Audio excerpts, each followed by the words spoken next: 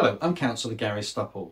I'd like to give you a summary of the council meeting held on Monday the 17th of July. This was another busy meeting which started with an update on the Community Cafe project from the clerk, contractor and Trinity Rose Architects. Members were pleased to hear that the project is going well and we hope to complete the build for opening to the public in December. Another important element of this meeting was reviewing the library refurbishment project.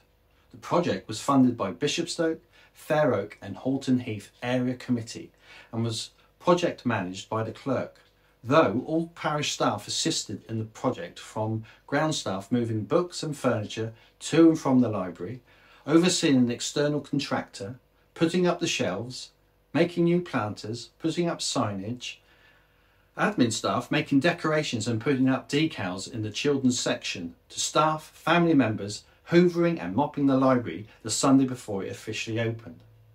All this hard work by staff to ensure that the library volunteers could safely restack the shelves and be ready to welcome users on the opening day. This truly was a joint effort by all involved, staff and volunteers alike. And I'd like to congratulate everyone involved in the project and hope to see new faces in the library and further joint work taking place together.